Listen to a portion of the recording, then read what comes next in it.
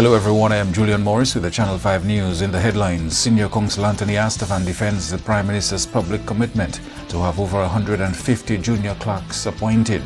28 primary school principals with UWI leadership certificates expected to translate into better grades for students.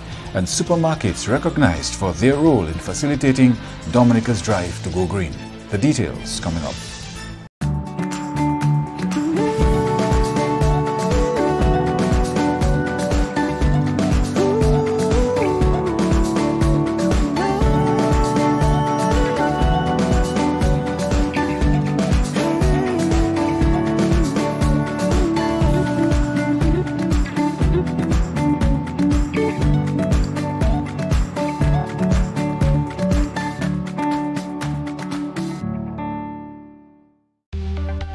Here are some tips to reduce mosquito presence in and around your home. Keep water storage containers properly covered. Remove containers that can collect water from your surroundings. Keep garbage bins tightly covered.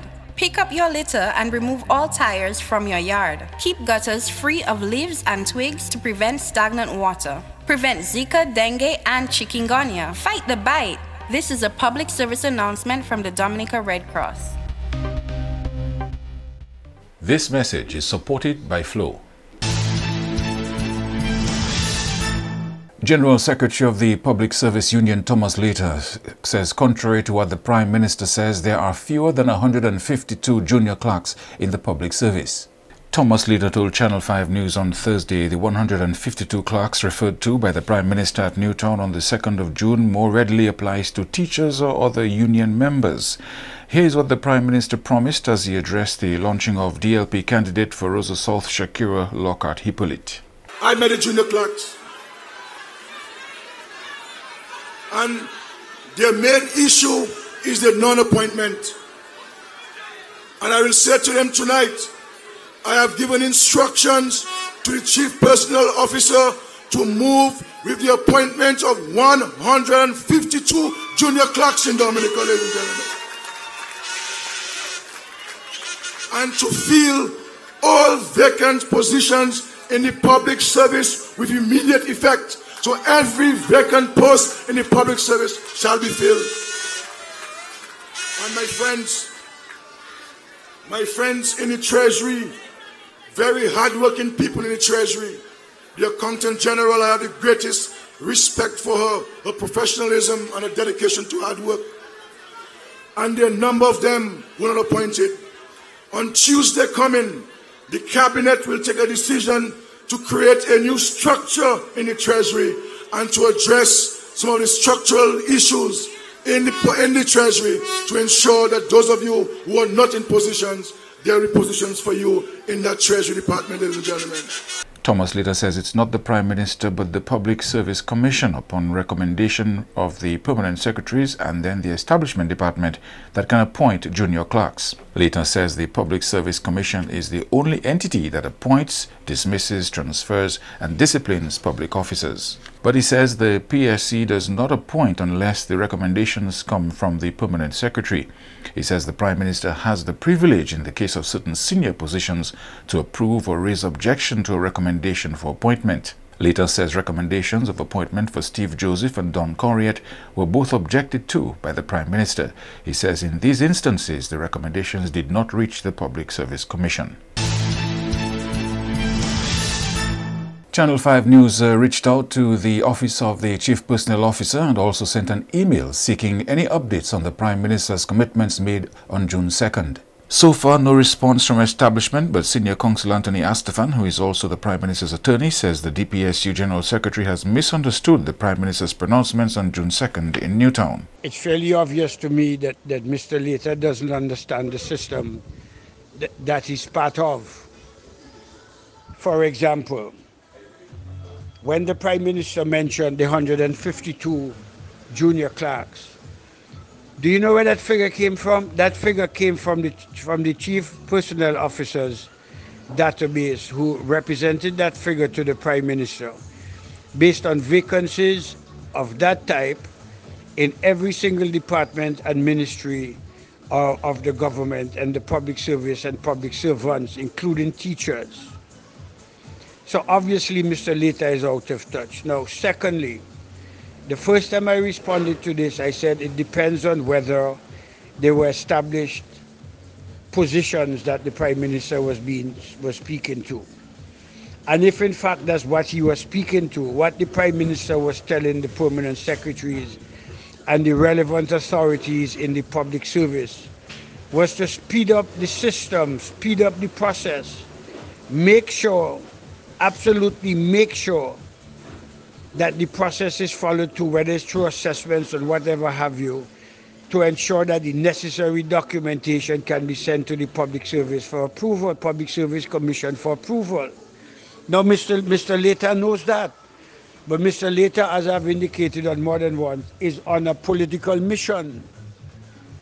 Just imagine the General Secretary of the Public Service Union does not know that there are 152 vacant positions in all of the ministries and departments, including the teaching service of the government.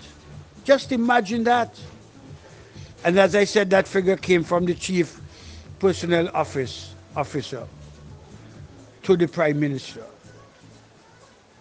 So all the prime minister said at that speech was, guys, pull up your socks, put the engine in gear and move it forward to take the necessary applications and, and recommendations to the commission.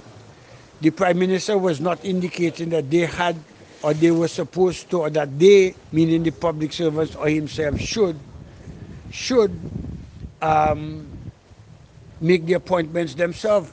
Senior counsel also addressed the union leaders' concerns over two public servants whose appointments he says were objected to by the Prime Minister. Nobody has an automatic right to be recommended for promotions or appointments.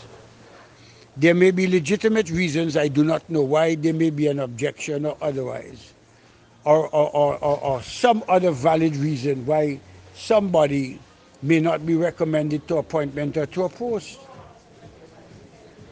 But you know, it is unfortunate that I have to keep coming onto Marpin News and other media seeking to explain and to clarify the mischief making of Mr. Thomas Letang, who I, I am now convinced is the political leader of the, of the Public Service Union. So in conclusion, the 152, the number 152 didn't come from the air. It was given to the Prime Minister by senior public servants in the public service. And the Prime Minister was never suggesting bypassing the Public Service Commission. He was saying put the process in the engine in go and get it done and get it done as soon as you can. But of course, Mr. Letang would never have understood it that way.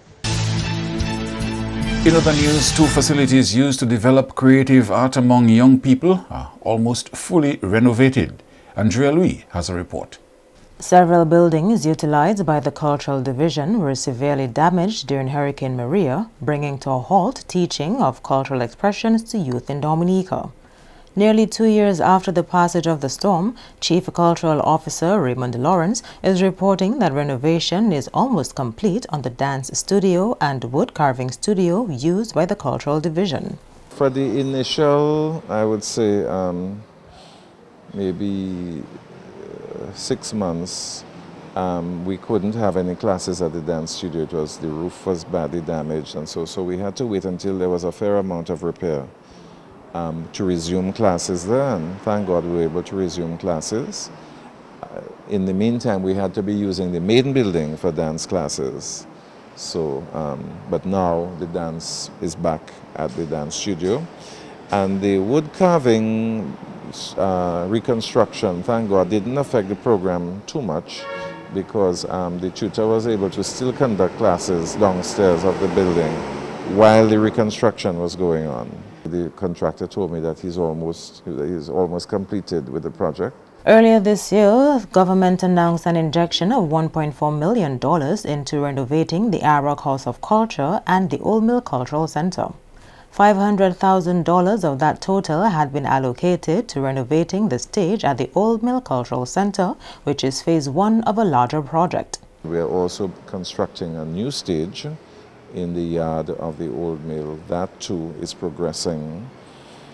Maybe I would have wanted to see it move a little faster, but it's, it is progressing. Um, and um, so hopefully soon we would be able to have a, a, new stage at the Old Mill and to be able to actually stage performances here at the Old Mill. It is hoped that Phase 1 will be completed before the end of the year, following which works will start on Phase 2. Because there's a second part to the project which will include washrooms and dressing rooms, apart from this performance area.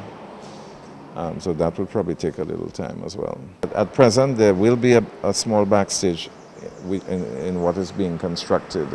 But in addition to that, we still will have another structure that will have more dressing room space and of course washrooms. Another of the structures renovated was the main building at the Old Mill Cultural Center. Staff had spent over a year operating from another location and was able to return to the original workplace late last year. Andrea Louis, Channel 5 News. And supermarkets being commended for their proactive approach in going green. This follows the pronouncement by government to phase out and gradually eliminate the use of single-use plastic shopping bags in 2019. To date, several supermarkets have stopped using plastic bags to package grocery items and offer reusable bags instead. However, there are other supermarkets which offer plastic bags to customers at a cost.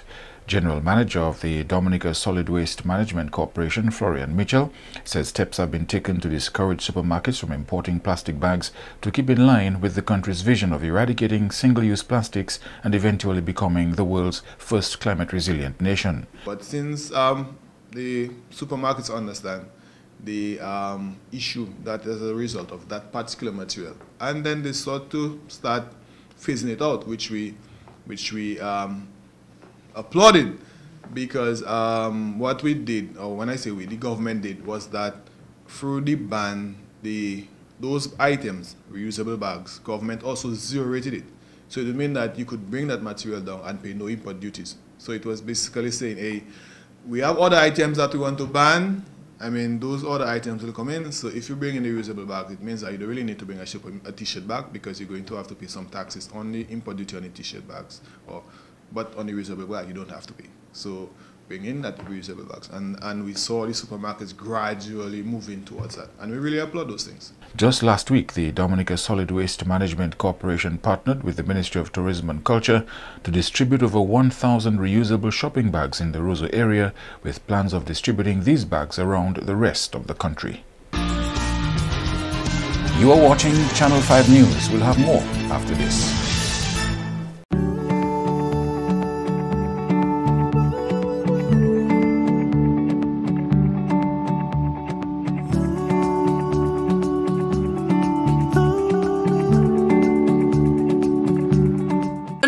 With TB sneeze or cough, healthy persons nearby breathe in the droplets and the bacteria can lodge in their lungs. People with weakened immune systems such as HIV AIDS, alcohol and drug users, smokers, children, and the elderly are most susceptible. Persons with a cough should take precautions when in contact with persons in public places. Cover your mouth when sneezing and coughing. Visit your doctor or health center. You must complete your treatment. TB can be cured even with HIV. Be responsible. Help stop the spread of TB and HIV. Protect yourself and others.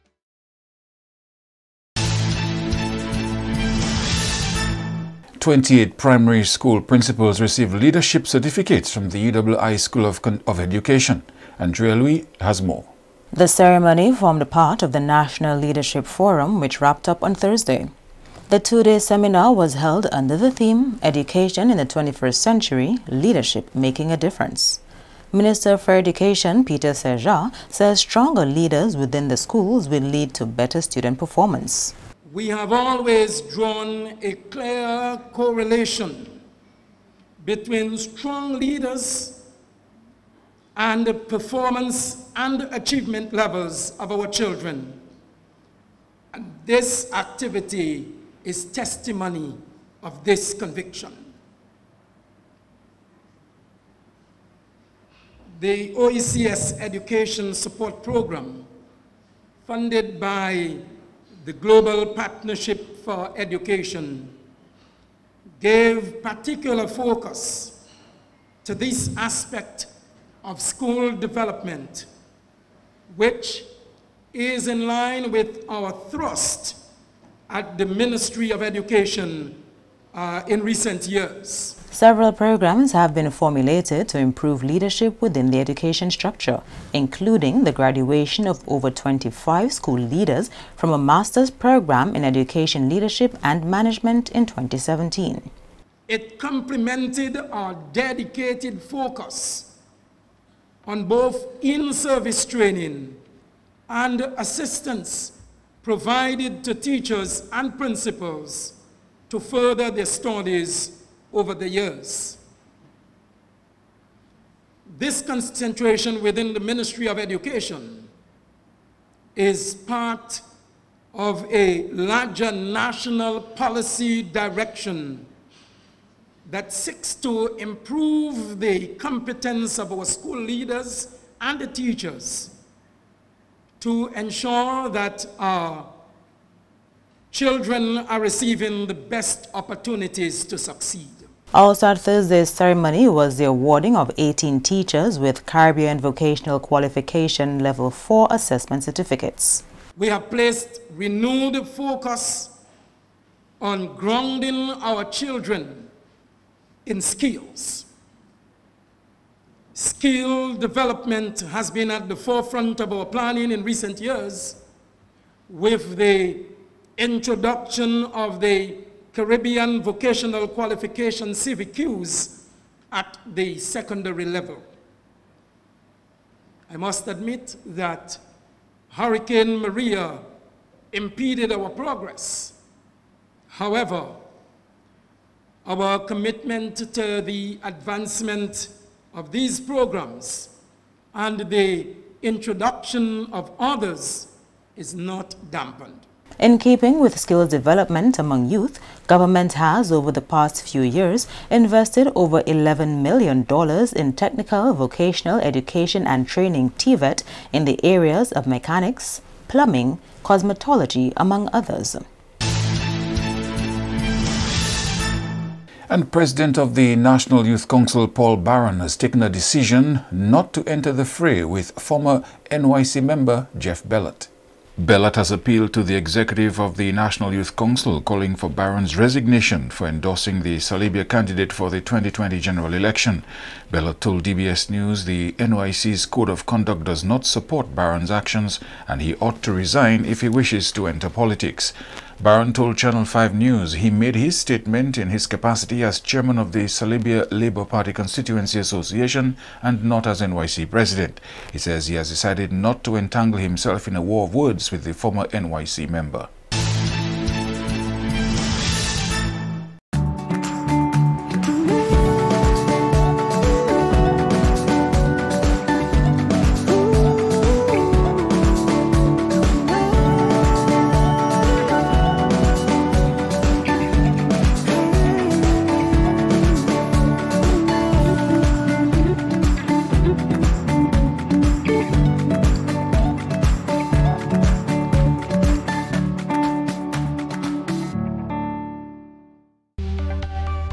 Some tips to reduce mosquito presence in and around your home. Keep water storage containers properly covered. Remove containers that can collect water from your surroundings. Keep garbage bins tightly covered. Pick up your litter and remove all tires from your yard. Keep gutters free of leaves and twigs to prevent stagnant water. Prevent Zika, dengue, and chikungunya. Fight the bite. This is a public service announcement from the Dominica Red Cross. This message is supported by Flow. To end the news, a look again at the headline. Senior Counsel Anthony Astaphan defends Prime Minister's, the Prime Minister's public commitment to have over 150 junior clerks appointed. 28 primary school principals with UWI leadership certificates expected to translate into better grades for students. And supermarkets being recognized for their role in facilitating Dominica's drive to go green. Feel free to contact us at news at marpin2k4.com. You may access our past newscasts on our YouTube channel. On behalf of the production team, I am Julian Morris. Thank you for watching. Join us tomorrow.